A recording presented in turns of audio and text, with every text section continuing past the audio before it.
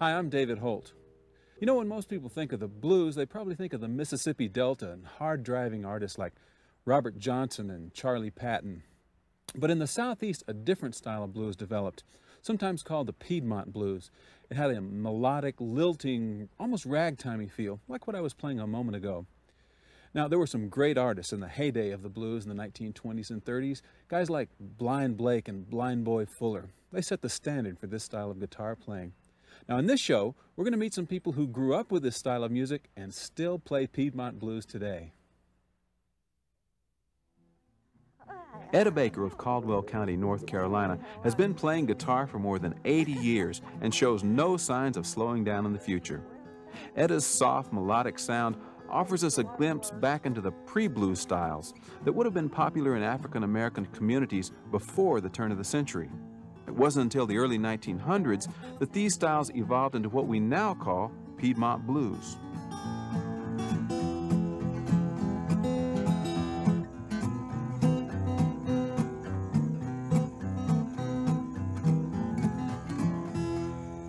That's beautiful. Now, where did you learn that tune, Etta? Learned that from my daddy. In fact, you learned to play the guitar from your daddy, didn't you? Right. Uh, how old were you when you started? I was three. Three.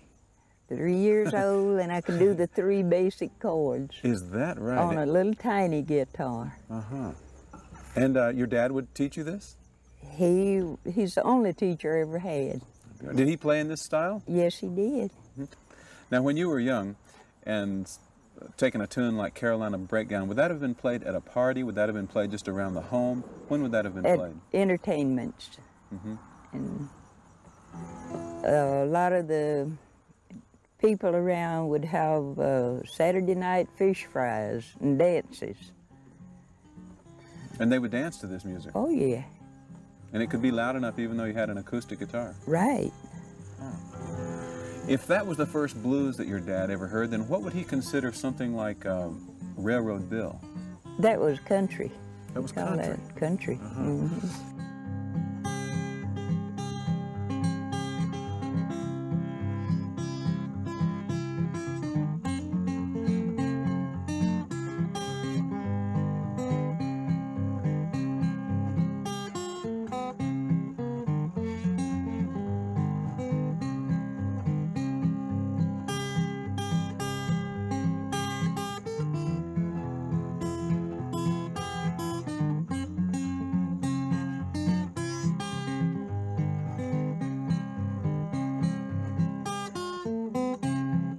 This is not what most people would consider blues, and, and as you said, your dad called it country music. Uh, but you do play some what, what people would call s- more standard modern blues. Um, play one of those. On the other hand, baby, or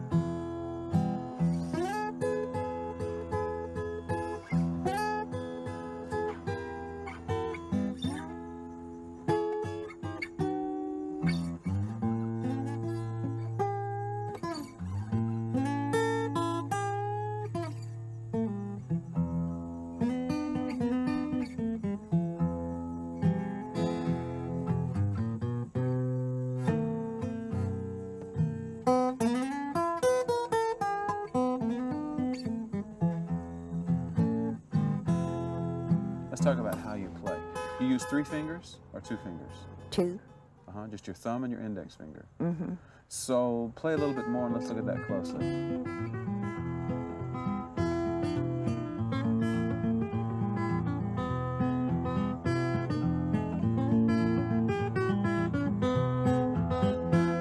The bass note is being kept by the thumb and the melody is played by the index finger. Mm-hmm.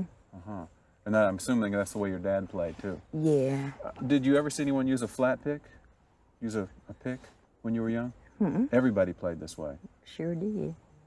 Actually, were there many other people besides your dad in the community where you grew up that played like this? Just about everybody in the same little section, you know, had about the same style.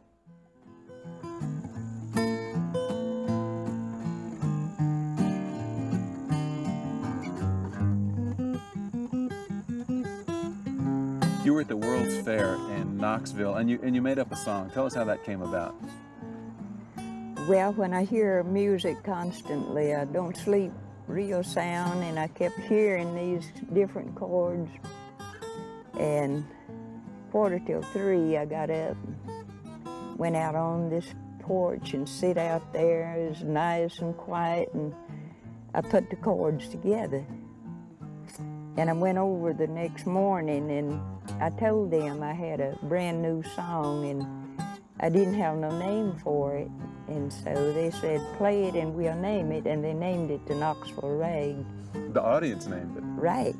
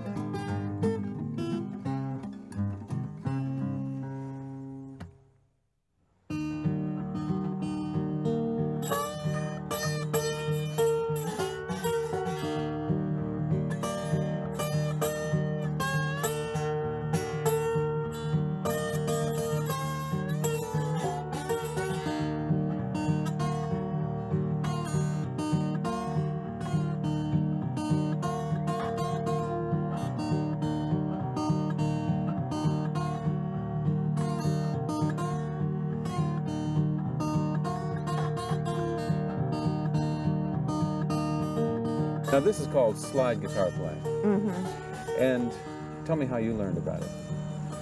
Well, um, I saw my dad break a bottle. He filed a little gray ring around the bottle and then he just hit it and snapped it off. Then he would dull it on another rock, turning it around, and then he got it to where he felt like it wasn't dangerous, you know, to use it to get cut, and so he started playing with a bottleneck. And then he would use his knife, pocket knife sometimes. And you can use just a piece of pipe like this. Mm -hmm. Um, did he play many tunes in this style? That's the only one I heard him play with slide. John Henry? John Henry. Oh, that's a great one.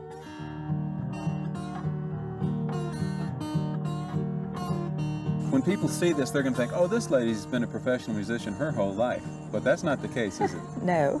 you, you worked in, tell, tell us what you, you used to do for a living. oh, I worked at uh, Buster Brown plant for 25 years. Uh-huh. So you played music on the side. Oh, yeah. How did you have time with nine kids? I made them be quiet.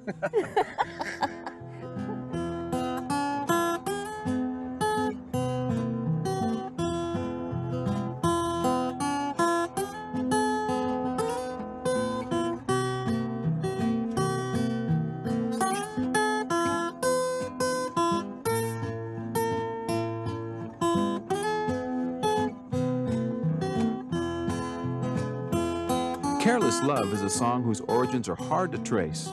It dates back to the late 1800s and has been a staple of both white and black musicians over the years. Etta's version is a good example of how the song was probably known in its original form.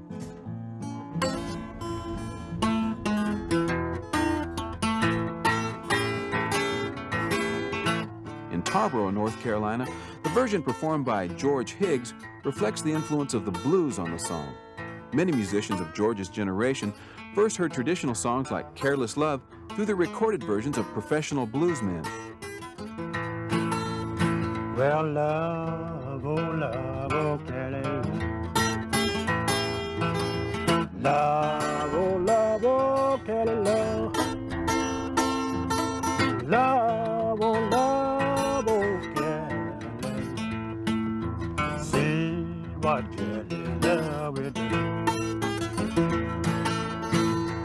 Call you the wee, better call you the moan. Call you the wee, better call you the moan. Well, let call you the wee, better call you the moan. Call you to lose your happy. Yeah. George, where'd you learn Careless Love? Careless Love, well, I got that from uh, Blind Boy, you know, Blind Boy Fuller made it. Yeah. You, you heard a recording of Blind Boy Right. Fuller. Did you ever see Blind Boy Fuller play in person? Oh yeah, I'm so small, you know, but he came to Tarboro once and and I think it was 40, I believe in the 40.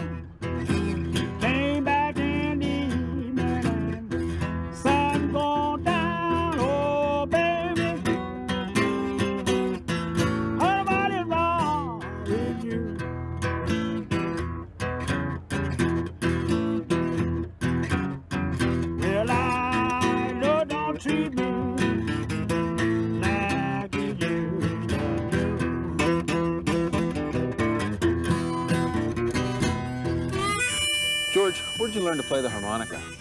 Uh, like that from my father. He, he played harmonica, and uh, I thought it was pretty good. the first harmonica I played side my dad, was, I heard was side my dad was uh, old fella called DeFord Bailey. He used to come on Grand Ole Opry. Sure. Oh, yeah. One of the greats. Well, so your dad played harmonica. Yeah. And what were some of the kind of tunes he played? Well, he played more old spiritual song mostly, and try and hold him unto the Lord.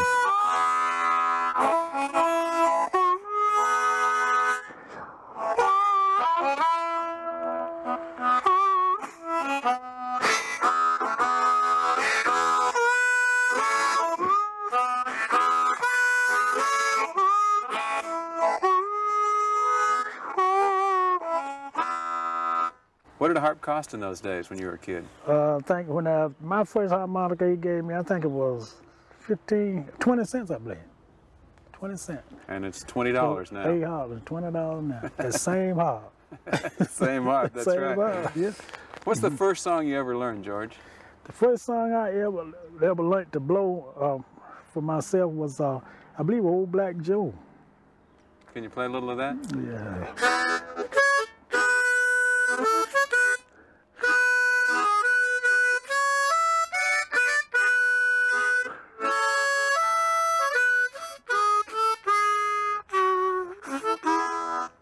It's been so long, I about forgot it. Yeah, it's been a while back. Yeah, yeah.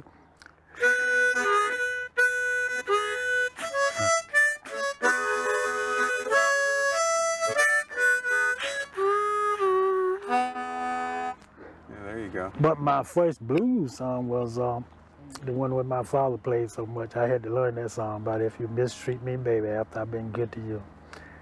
And I just love that song. Play a little bit of that one.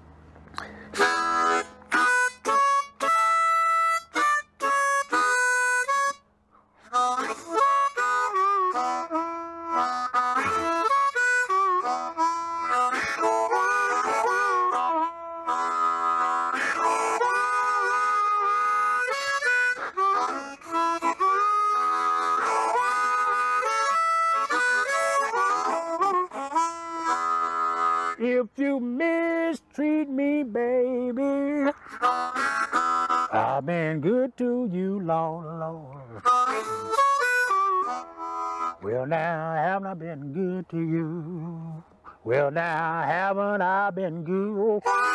Have I been good to you?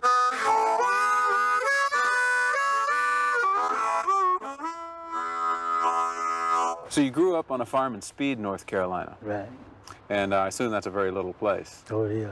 That's what they call a slow down with a fast name. Slow down with a fast name. I like that. Speed. Yeah. Well, so you farmed yourself after your dad passed away. Right, right. And what did you farm? Cotton, peanuts, corn, a few soybeans. Now let's go back to when you were a little boy growing up in Speed. Did you hear music? Did you hear much music at that time? Yeah. Well, mostly what we have music from, you know, at house parties and, you know, the old folks get together, get around them old fruit jar and a corn liquor and they would sing. Wanna see my show? Wanna see my show? I want to drive.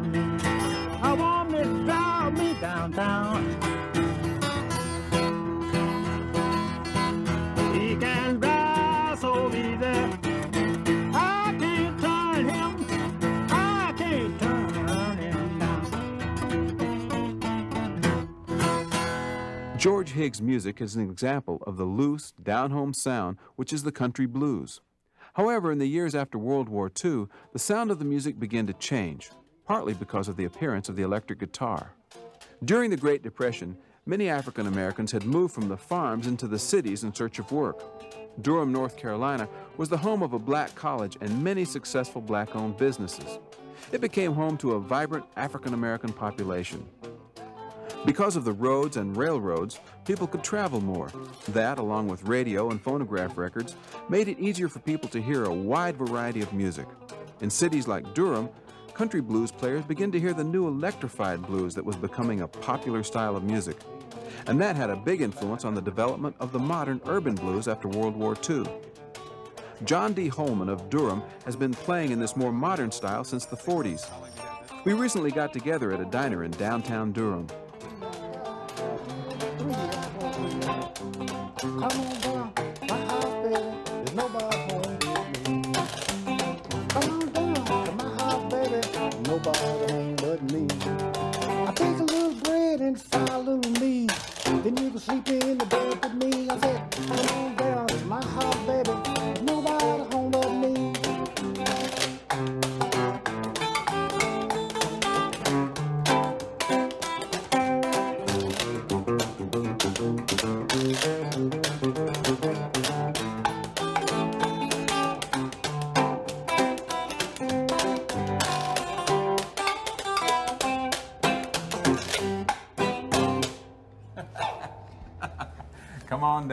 house. That's a great old Blind Boy Fuller tune. Yeah, that's so nice.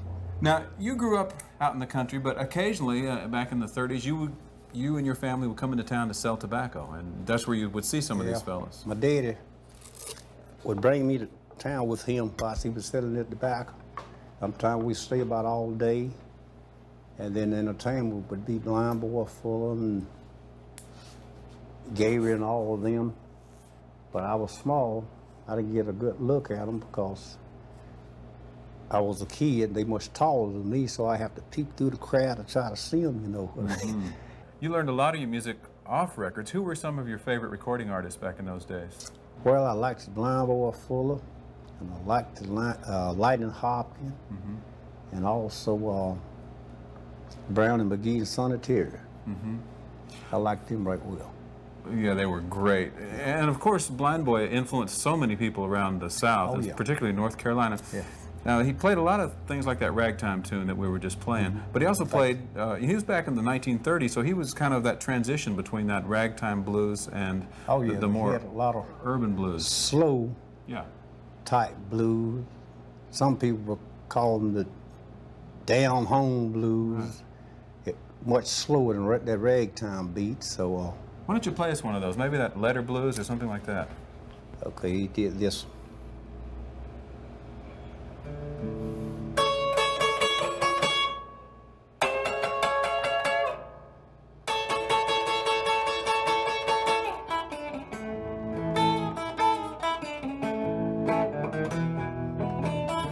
I got a letter early this morning. This is the way my letter read. I got a letter early this morning. This is the way my letter read. He said, Come on home, blind boy. You tell me your little baby's dead. He said, Ain't alright. I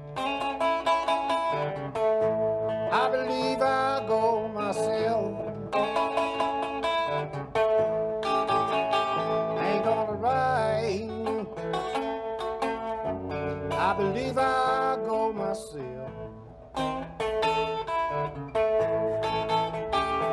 felt a letter might be too short. I'm afraid a telegram might get left. I say, hey, bum, I'm coming on home to you. You're kind of an interesting example of of the blues because Oh, you yeah. grew up in the country. You learned from some of these records, but you had family that played. That's correct. And then when you came to move to Durham, which was in the 50s, right? From 1954. You started started hearing a more modern kind of music and Yes, I really did. Uh, something like Chuck Berry plays similar rock and roll, you know, Yeah, like, uh-huh. you know, back then, 50 yeah. well, Lightning Hopkins is a good example. In fact, you met like Lightning Yeah, I met? Lightning, so uh, I opened the show for him once.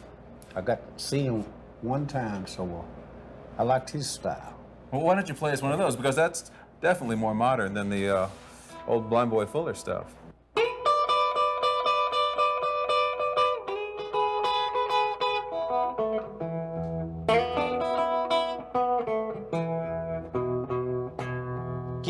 Me that wig I bought you, baby. Gotta let your doggone head go bald.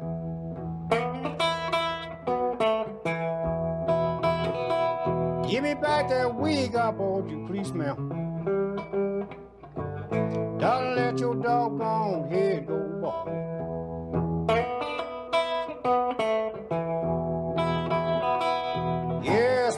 to find out early this morning, baby, you didn't need no at all.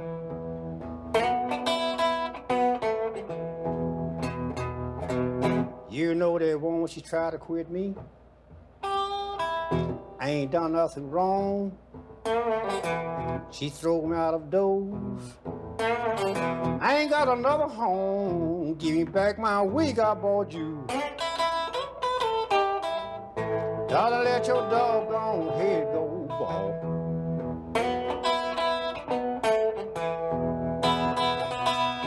Yes, when I come to find out early this morning, baby, you didn't need no hair at all. You made your living as a heavy equipment operator, right? Yes, I did. You're a good enough musician to make a living playing music, but where did you play your music if you weren't doing it for a living? Well, I was playing around like at night at Sammy's shop, Shoe Shine Stand. It's a little building uptown here that they shine shoes in. So we got us there to entertain whilst we were shining shoes there a couple hours about every night. Uh-huh. House parties too? And also house party. I did a few of those. And like birthday and pig picking. I did a few of those. Well, let's play one of those tunes you might have uh, played at those situations.